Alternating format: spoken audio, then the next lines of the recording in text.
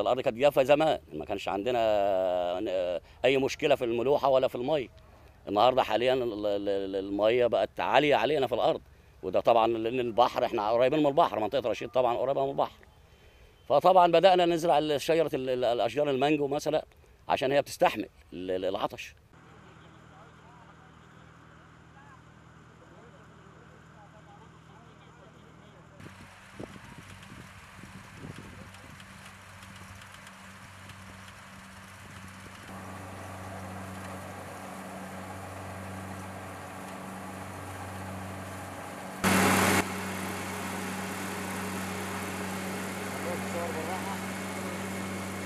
بيتم زراعة الرز الجاف.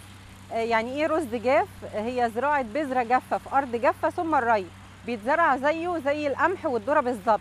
وده طبعا عشان مشكلة المياه اللي إحنا بنواجهها وطبعا ولسه برضو مشكلة نقص المياه. إحنا داخلين على مشكلة طبعا هتبقى أكبر.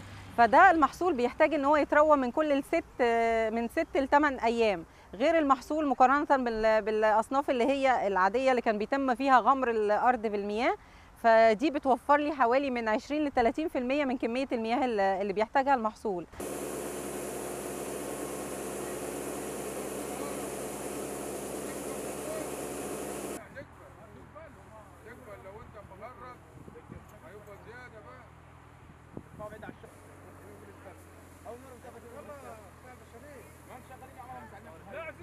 The impact of sea level rise and, and sea water intrusion into the uh, uh, body of the delta is really impacting the productivity of the land, turning the land into saline soil that really make it hard for, for farmers to, to deal with.